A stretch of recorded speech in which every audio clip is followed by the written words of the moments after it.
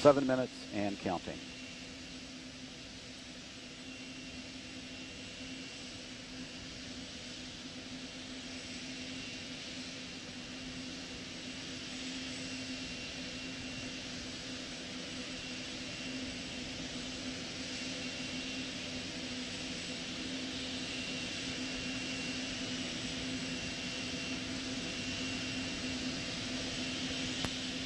The orbiter access arm continues to be retracted. APU strip chart recorders. And that is in work. Everything continues to go well and on schedule. LT OTC perform APU pre-start. OTC PLT APU pre-start in work. Auxiliary power unit pre-start procedures are now being worked by pilot Scott Kelly.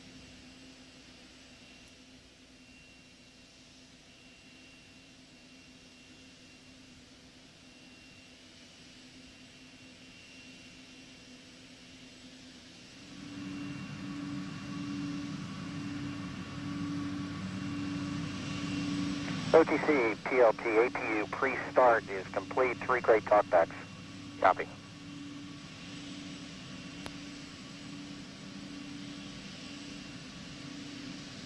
Pilot Kelly reports that the pre-start of the APUs are complete. Activation will come in just about 30 seconds.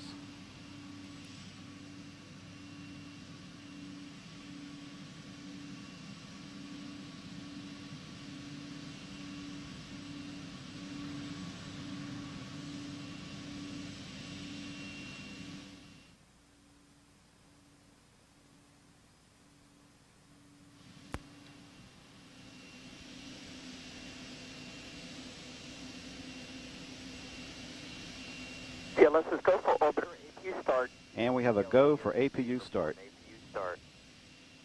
APU starts in work. CDR OTC reconfigure heaters. CDR heater reconfigure in work.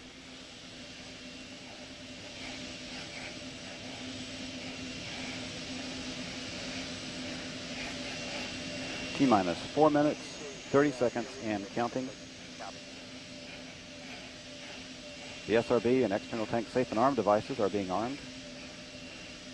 OTC PLT APU start is complete. Three good APUs, norm press. OTC copy. This mission carries a crew of seven who will spend the next eight days in space performing three spacewalks to service the orbiting Hubble Space Telescope.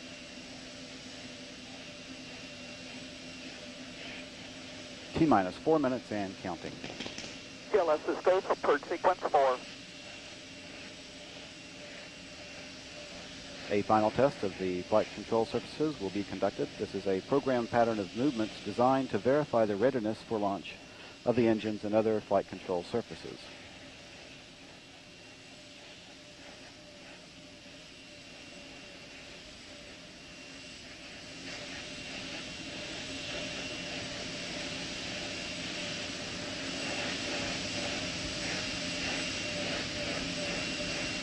Three main engines are being gimbaled as a final test before launch.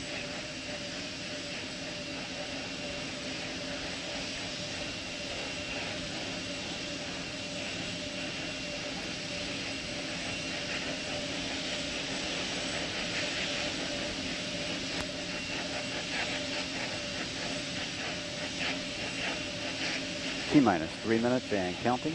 All is going well for launch tonight. Everything continues to look good for NASA's final shuttle mission of 1999. LO2 pressurization. Tonight's launch is expected to be visible to most of the southeastern coastal regions of the U.S.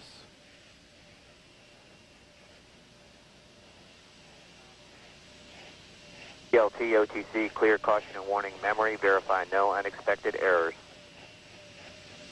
OTC PLT, that's in work.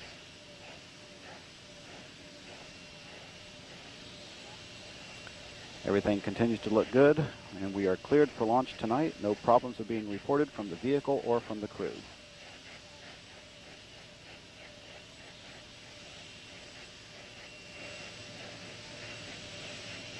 OTC PLT caution and warning memory is cleared. No unexpected errors. Copy. Discovery, close and lock your visors and initiate O2 flow. Have a safe journey to Hubble and continue man's quest to unveil the secrets of the universe. We'll see you in eight days. Discovery copies uh, visor pseudo 2. GLS is go for ET, LH2 pressurization.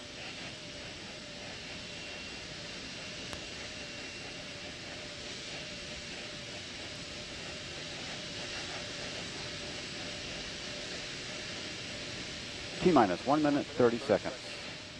All systems are go. Discovery is about 90 seconds away from launch.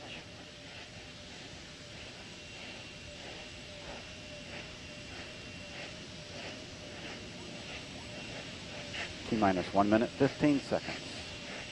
The liquid hydrogen tank inside the external tank is reported to be at the proper flight pressures at this time.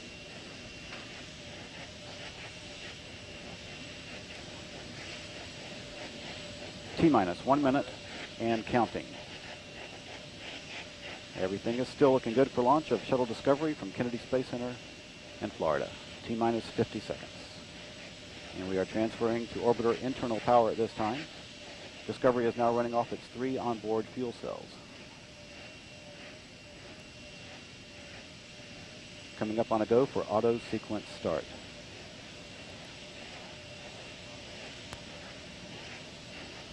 GLS is go for auto sequence. And we have a go for auto sequence start. Discovery's onboard computers have primary control of all the vehicle's critical functions. 20 seconds. T minus 15 seconds. 12, 11, 10, 9, 8, 7. We have a go for main engine start. 4, 3, 2, 1. We have booster ignition and liftoff of the Space Shuttle Discovery on a mission to repair the Hubble Space Telescope as we venture into the 21st century. Houston Discovery, roll program. Roger roll, Discovery.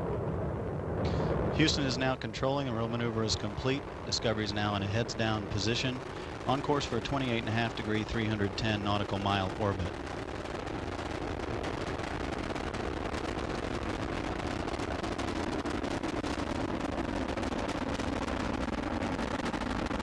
Discovery's three main engines now are beginning to throttle down to lessen the effects of the dense lower regions of the atmosphere on the orbiter. Discovery already traveling 700 miles per hour, hour, three miles altitude, a little more than a mile downrange from the Kennedy Space Center.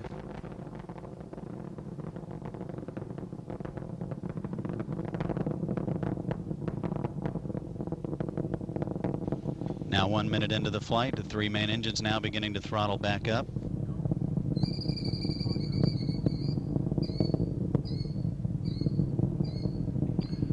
Discovery Houston, go at throttle up. Discovery copies, go at throttle up. Now one minute, 20 seconds into the flight, Discovery already 10 miles in altitude and downrange 7 miles from the launch site, traveling 1,500 miles per hour. All systems uh, looking good aboard Discovery, three good electrical systems as uh, fuel cells, and also the auxiliary power units providing hydraulic power to the vehicle. All three main engines still in excellent shape, approaching 1 minute 40 seconds into the flight. The next step is uh, burnout and separation of the twin solid rocket boosters on the orbiter. Discovery system now weighs half of what it did at liftoff, having burned half its weight, total weight in propellant.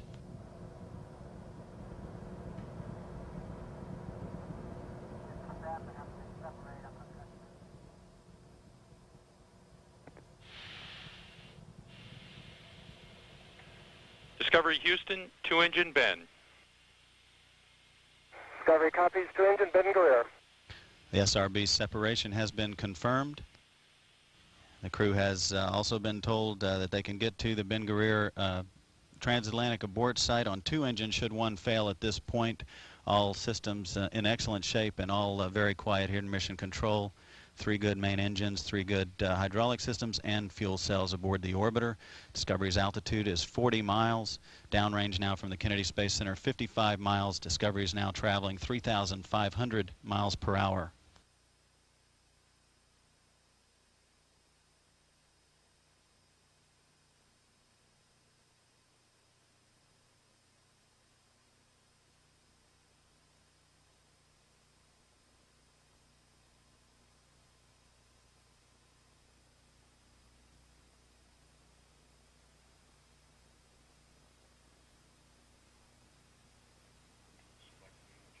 Discovery Houston, press to ATO, select Banjul.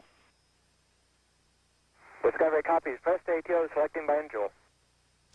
And that call to uh, Curt Brown aboard Discovery and the rest of the orbiter's crew uh, that the orbiter can reach orbit on two engines should one fail. Again, all three are still in excellent shape.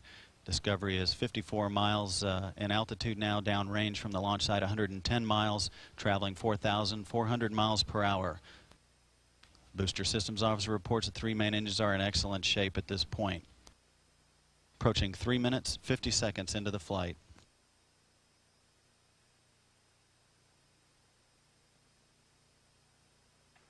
Discovery Houston, negative return. Discovery copies. Negative return. And Discovery can no longer return to the Kennedy Space Center in the event of a problem on board, but all systems are in excellent shape.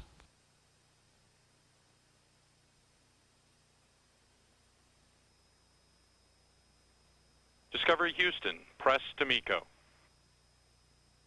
Discovery copies. Press to MECO. 4 minutes 25 seconds into the flight, Discovery can now reach a safe orbit on two engines in the event that one should fail, but all three are still in excellent shape, as are the hydraulic systems and the electrical systems on board. Discovery is now traveling nearly 6,000 miles per hour, 200 miles away from the Kennedy Space Center at an altitude of 65 miles.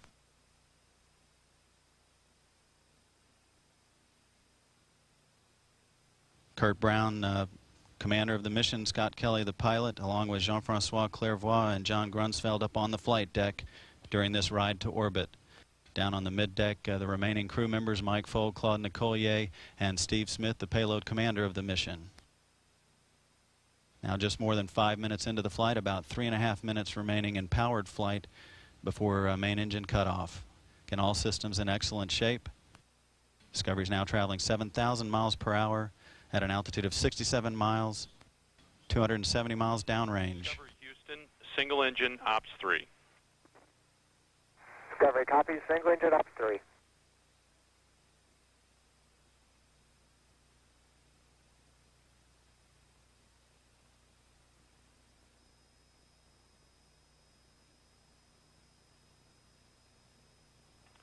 Discovery Houston, single engine Banjul, 104. Discovery copies. Single engine Banjul 104.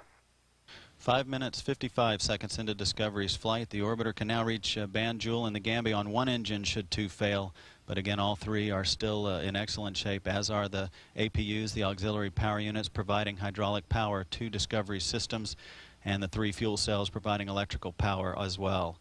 Discovery is now traveling 9,000 miles per hour, downrange from the launch site, uh, approaching 400 miles at an altitude of 67 miles.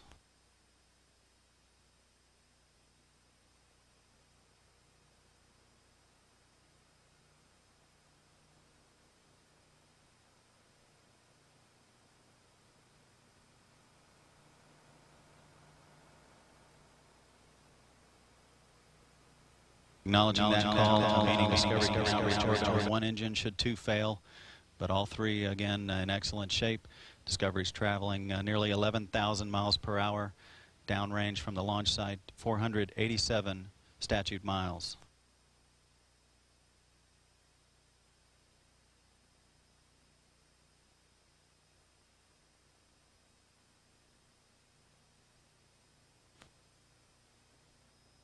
Guidance officer reports main engine cutoff will occur 8 minutes 20 seconds 26 seconds into the flight. A Discovery now at 7 minutes 15 seconds into the mission to service the Hubble Space Telescope for the third time. Now traveling nearly 13,000 miles per hour, 600 miles away from the Kennedy Space Center, 65 miles above the Earth's surface.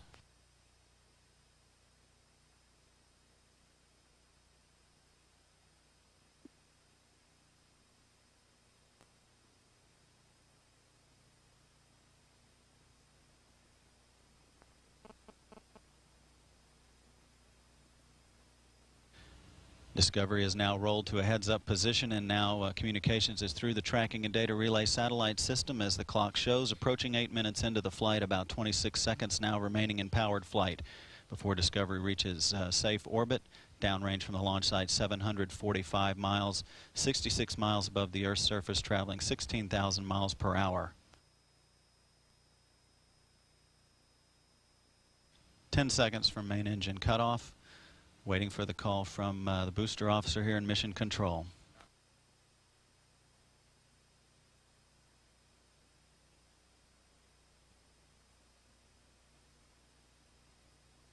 And the main engine cutoff has been confirmed by the booster officer in Mission Control, standing by for separation of the external fuel tank. Discovery Houston, nominal MECO, OMS 1, not required. Discovery copies uh, nominal MECO, OMS 1 not required.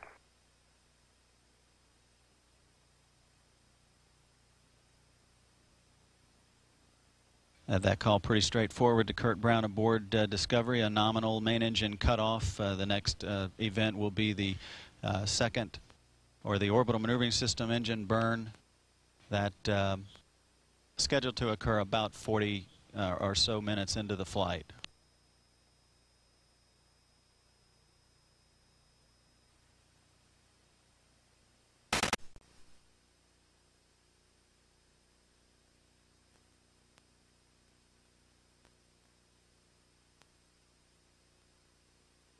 Flight Director Wayne Hale here pulling each flight control position to shut down the hydraulic systems aboard the orbiter as they are no longer required uh, now that Discovery is safely on orbit.